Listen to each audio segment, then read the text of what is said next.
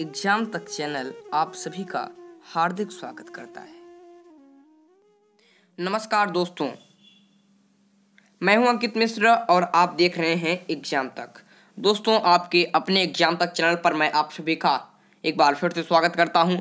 यहाँ पर दोस्तों, आज हम जीके के एक इम्पोर्टेंट क्लास में आज ये तय करने वाले हैं कि विश्व के कुछ पुरा प्रमुख देश एवं नगर के पुराने एवं नए नाम। जो विश्व के जो प्रमुख देश हैं या फिर नगर हैं, उनके पुराने नाम क्या थे और अब उसके नाम क्या हुए हैं?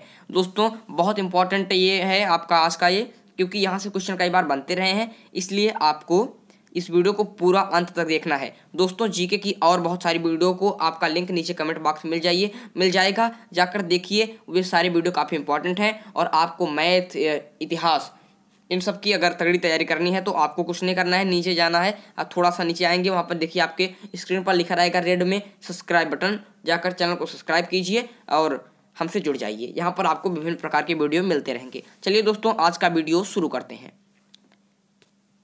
तो देखिए दोस्तों, आज का जो हमारा वीडियो है, इसमें आपको इस तरफ़ नए नाम रहेंगे, इस तरफ़ पुराने नाम, जैसा कि मैंने लिख दिया है। तो नए नाम है और उसके पुराने नाम क्या थे, यहाँ से मैं क्वेश्चन कई बार बनते रहे तो चलिए देखते हैं। दोस्तों, पहला है म्यांमार। पहला है म्यांमार। तो म्यांमार का ये नया नाम है म्यांमार। तो इसका पुराना नाम क्या था? इसका पुराना नाम क्या था? तो इसका पुराना नाम था वर्मा। वर्मा। तो दोस्तों, हो सकता है आप लोगों को बहुत सारे लोगों को पता होगा, जो सुभाष चंद्र बोस से वर्मा में ही गए थे, यहाँ से जाने के बाद। तो वर्मा उस समय उसका नाम था, अब इसका नाम है, अब इसका नाम है म्यांमार। तो बहुत बार क्वेश्चन बनता रहा है कि म्यांमार का पुराना नाम क्या था? तो वर्मा था। समझ लीजिए। दोस्तों, अगर म्यांमार को आपकी राजधानी पूछे, म्यांमार की राजधानी आपसे पूछे तो आपको लगाना है नाए पियाटा। नाए पियाटा जो है, वो म्यांमार की राजधानी है। और पुराना नाम पूछे तो इसका पुराना नाम बर्मा था। अगला है यांगून। अगला है यांगून तो इसका पुराना नाम क्या था? इसका पुराना नाम था रंगून।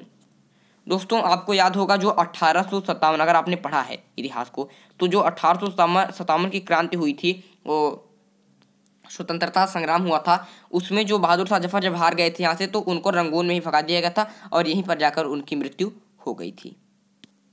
चलिए दोस्तों, आगे चलते हैं। अगला है ईरान।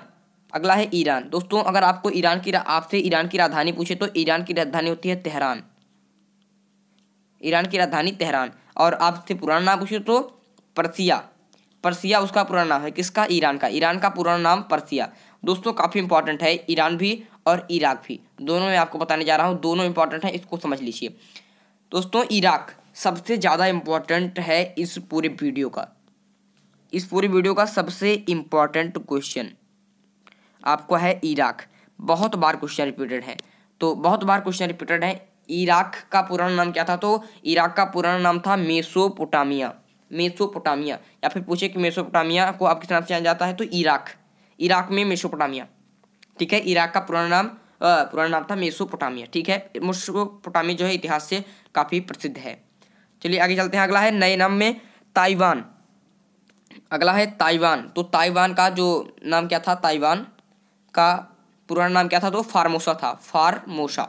फार्मोसा जो है ताइवान का पुराना नाम था। आपको सभी को याद करना है, सभी को लिखना है। ठीक है दोस्तों? अगला है थाईलैंड। अगला है थाईलैंड। दोस्तों, जो थाईलैंड से क्वेश्चन सबसे ज़्यादा इंपॉर्टेंट बनता है कि सफ़ेद हाथियों का, सफ़ेद हाथियों का देश कहा जाता है इसी को। किसको? तो थाईलैंड को। ठीक है? थाईलैंड को सफ़ेद हाथियों का देश कहा जाता है। सफ़ेद का कलर दोस्तों यही होता है। ये देखिए, सफ़ेद। सभी को आपको पता है, फिर भी मैं यहाँ पर आपको दिखा दे रहा हूँ।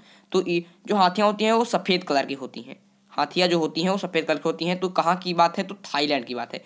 तो समझ लीजिए, काफ़ी इंपॉर्टेंट क्वेश्चन है, कई बार बनता रहा है। चलिए आगे चलते हैं। दोस्तों पूछ रहा है कि थाईलैंड का पुराना नाम क्या था? तो थाईलैंड का पुराना नाम था श्याम। थाईलैंड का जो पुराना नाम था, वो था श्याम। तो आपको समझ लेना है। ताइवान का पुराना नाम पूछे तो फार्मोसा और थाईलैंड का पूछे तो श्याम। ठीक है दोस्तों, उम्मीद कर रहा हूँ कि आपको यह वीडियो पसंद आता रहा होगा। जितना चल रहा है, आपको अच्छा समझ में आ रहा है। तो अगर आपको वीडियो, पूरा वीडियो अगर देखेंगे, आपको अच्छा लगेगा तो हमें कमेंट ज़रूर कर दीजिएगा। चलिए दोस्तों, आगे चलते हैं। अगला है जिम्बाब्वे। जिम्बाब्वे। बहुत लोग जिम्बाब्वे कहते हैं, लेकिन दोस्तों, इसका नाम है जिब, जिम्बाब्वे। जिम्बाब्वे नहीं, जिम्बाब्वे। तो जिम्बा, जो जिम्बाब्वे है, इसका आपसे पूछे नाम। पुराना नाम क्या था? तो आपको लगाना है दक्षिण रोडेशिया दक्षिण रोडेशिया जिम्बाब्वे का जो नाम है, क्या है इसमें? दक्षिण रोडेशिया ठीक है दोस्तों? अगला है दोस्तों बीजिंग। तो बीजिंग का नाम क्या था? बीजिंग का तो बीजिंग का नाम था, पुराना नाम क्या था? तो बीजिंग का पुराना नाम है पिकिंग। बीजिंग एक शहर है, बहुत इंपॉर्टेंट बहुत ही प्रसिद्ध शहर है तो प्रमुख शहर है तो इसका पुराना नाम पूछ सकता है आपसे तो पिकिंग था और जिम्बाब्वे का दक्षिण रोडेशिया, ठीक है? ताइवान का फार्मोसा, थाईलैंड का श्याम। तो जिम्बाब्वे का दक्षिण रोडेशिया और बीजिंग का पिकिंग। अगला है दोस्तों बेनिन तो बेनिन पूछ सकता है आपसे, बेनिन भी इंपॉर्टेंट है। पूछ सकता है कि इसका पुराना नाम क्या था तो इसका पुराना नाम था डाहोमी। डाहोमी जो है, वो बेनिन का पुराना नाम था। चलिए दोस्तों आगे चलते हैं। अगला है बोत्सवाना। अगला है बोत्सवाना, काफ़ी इंपॉर्टेंट है। बोत्सवाना भी।